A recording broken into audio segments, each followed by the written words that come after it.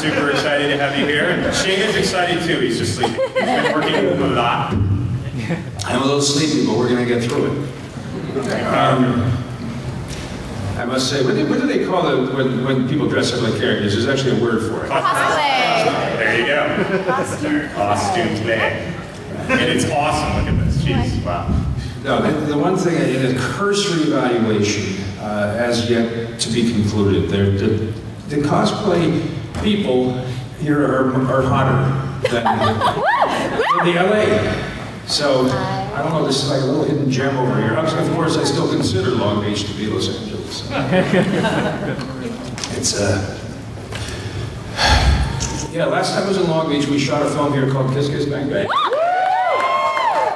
And we used the freeway. And they said, use the freeway, but if you put Long Beach in the sign, we'll let you use it for free. As though somehow we would uh, encourage people to move to Long Beach or something by putting it in the movie. So we got the freeway for free. And uh, it's just a, it was a great experience. How you, how you doing today? Are you? This is a great con, right? I mean, Long Beach has just put, pulled it together this year and just made it awesome. We're really excited, and we're, we're just excited that Shane agreed to come here. I took a chance and just asked him to come, and he said yes, and I was like, really awesome. I'm so excited because, you know, I love Iron Man. It's one of my favorite comics, and Shane taking it over is like the best thing ever, I think, in my mind. Yeah, I, uh, I truly grew up with this stuff. Um, Nice. I think there's a lot to be said. There's a sense of people out there looking up to, you know, the sort of the professions, whether it be the artists who draw or the filmmakers or the writers. Say, you know, wow, that's like the other side of the coin. It's the same side of the coin, really, because I was that kid in high school who would come home without friends at the end of the school day and just sort of buy all the comedy albums I could get, the weird obscure ones like the, you know, Franklin Ajaye, who no one ever heard of, all the Carlins, all this, and just go up in my room, close the door by myself and laugh my ass off listening to comedy albums, and that was my social life. So comic books, isolation to some extent, and just intense and never-ending ingestion of all this kind of uh, adventure story input. My life was, was living out other people's adventure stories, from Burroughs uh, through to Theodore Sturgeon, through to, you know, the 70s when they had all those, the Executioner, and the Destroyer, and the Snapper, and the Ripper, and the, it was all, uh, it was all leading up to something. So, as much as I used to be uh, ashamed of the fact that I spent so much time alone, two good things come of it. One, I'm no longer ashamed to be alone. No. I can spend endless time alone. There are people on this planet who, if you said, I'm going to put you in a room for a year with nothing but books, and you can't see or talk to anyone, they, they would literally melt down. I'd say, oh, great. I'll see you in a year. You know?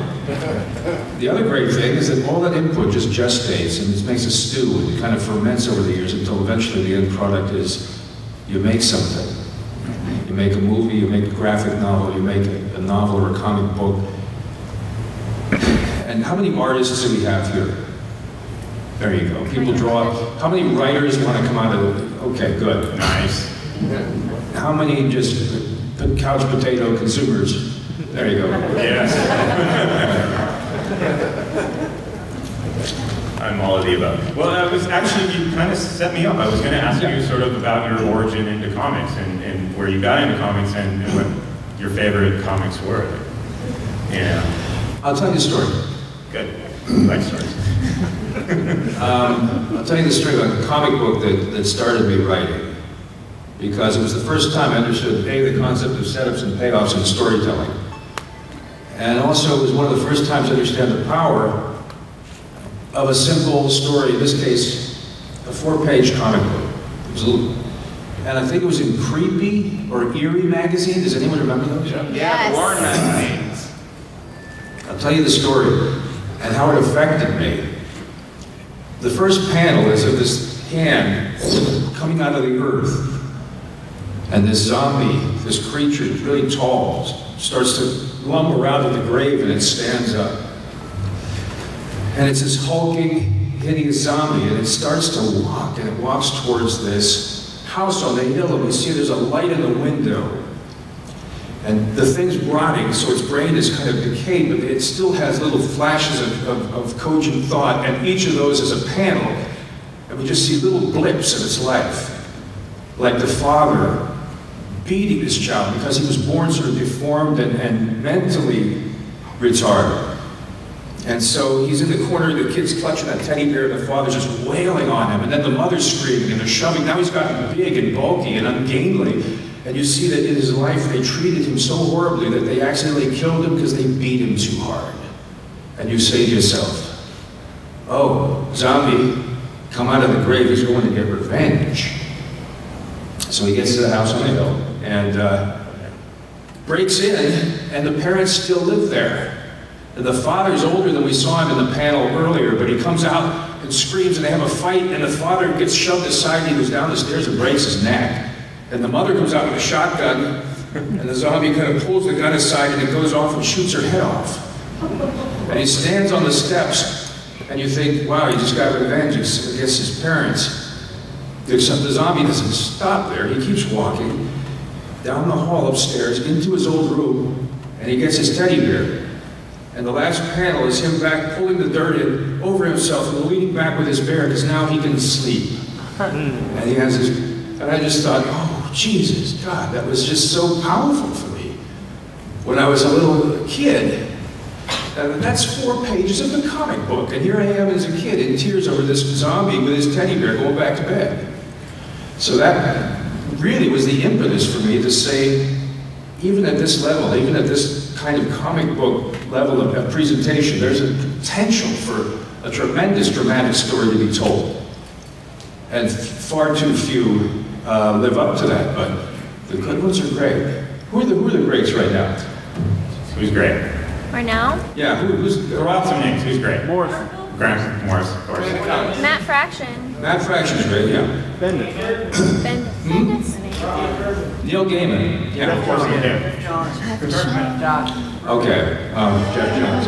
There you go. so, so who are your favorites? Who, Uh, who do you love? Who are your favorite authors? Because Shane has an enormous amount of books in his house, um, his own library as well. So, It- It's funny because even as a kid, I knew that, like Marv Wolfman was good, but Gerry Conway wasn't, you know? is Mark here? he, he might be here. So, I, I was I was with him a few minutes ago. So. I loved um, Peter O'Donnell, Modesty Blaise. I got a big kick out of that. I don't know if you've ever read it. But um, the trend that I see missing is sophistication. Um, there was a period when comic, it- it's kind of paradoxical because of the, when comic books started selling a million copies per issue with uh, image comics. Right. And my neighbor in Fullerton, California, where they just kicked this poor man to death, the cops, uh, was Rob Liefeld. And Rob Liefeld said, hey man, come over to my house, you know, uh, here, read some of my comics. They sell a million dollars, a million copies a, per, per issue. They sucked.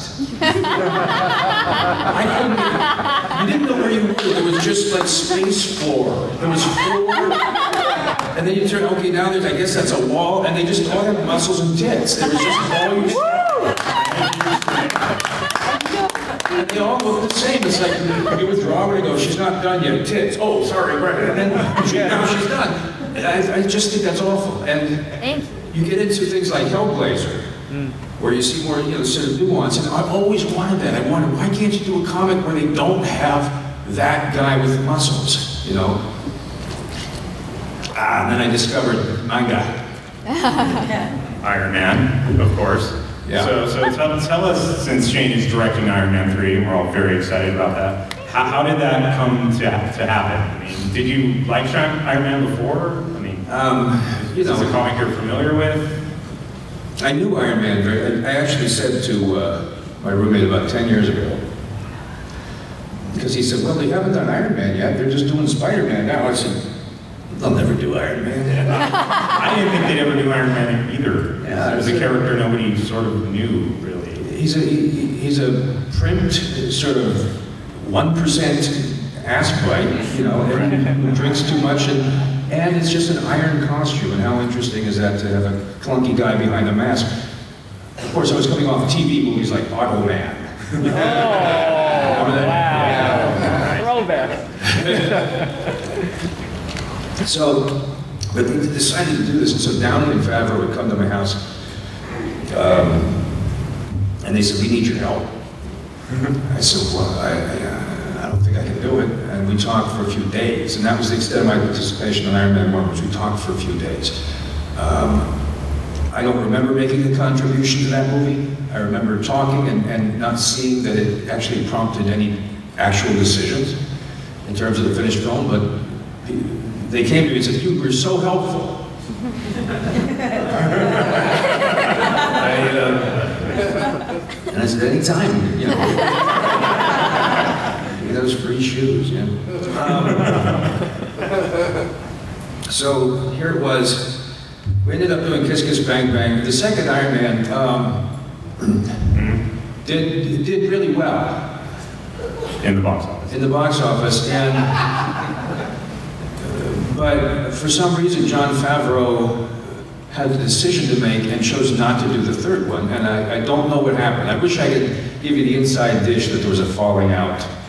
Uh, I don't actually. My feeling is there wasn't a falling out. It just one of these weird things where it didn't happen, and Favreau took another offer. And I, I think that because I know that Downey and Favreau are still, uh, you know, really close friends. Um, so Robert called me. That's how it, he called me and said, you know, I uh, got big plans for you. and uh, I, I had trepidation at first. I had a smaller movie I was trying to do, and uh, you know, Iron, Iron Man required writing the entire script. But I said, let me, let me really address this because this could be the shot in the arm I need. I fell off the map for a while. I, uh, you know, I made a splash when I started my career very young, like age 22. Leave 11. Yeah. so, and then for a while, I just, you know, I'll talk about it later if you like, but the circumstances just sort of pushed me out of the picture and I sort of slid off the map. But this, this looked good, this Iron Man, so I thought about it and thought about it, and then they said, well, we've got this other writer. I said, what do you, what, what- what do you mean? I said, I'm, I'm going to write and direct it. He said, well, this other guy, Drew, you know, we're Marvel and we're very cheap. and we wouldn't pay you if we didn't have to. Uh. But this guy Drew owes us another movie, so we want to roll him over onto this and get a draft out of him. And I said, okay. All of a sudden, I read in the paper like, Drew Pearce writing Iron Man. So I went to I went to work and said, you guys, what the fuck? He's British for Christ's sake. and I said, just, just give him a chance. So it ended up, what happened was this amazing uh, collaboration and friendship with this absolutely lovely British writer named Pearce, who sat with me for weeks and weeks in my house with my dog farting at her feet. And uh, um, wow, it, it was just, it was so much fun. So, you know, now Drew's doing Sherlock Holmes 3.